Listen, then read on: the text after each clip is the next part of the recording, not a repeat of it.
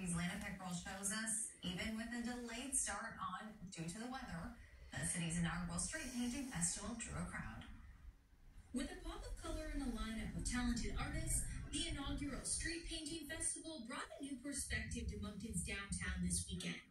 It's not a competition, so it really is just uh, about appreciating the art, and um, it's it's it's unique. So it's the magic of, of chalk art is that it's here today and it's probably gone tomorrow. This year's scene was a history of rock and roll.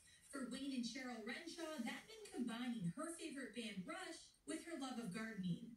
I got my brother-in-law playing the electric scooper shovel and our friend Stuart on the buckets playing the drums. He's the only musician among them, and he was actually playing the drums as, as Tom Sawyer was on the radio while we were doing this, and Cheryl's on the electric rake.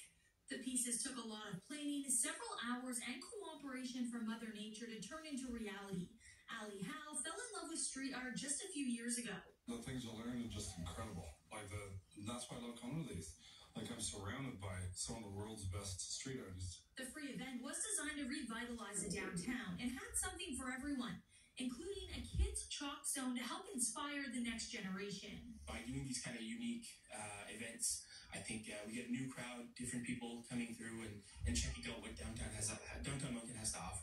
And artists say the art form goes beyond the lines drawn on concrete.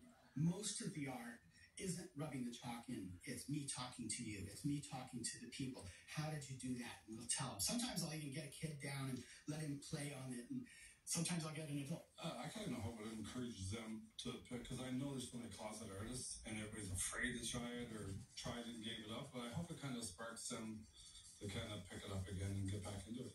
While the colorful street transformation isn't permanent, officials say they don't suspect it will be the last time they bring talent, beauty, and community to the downtown and change a regular road into a one of a kind piece of art. Alana Pickrell, CTV News, Moncton.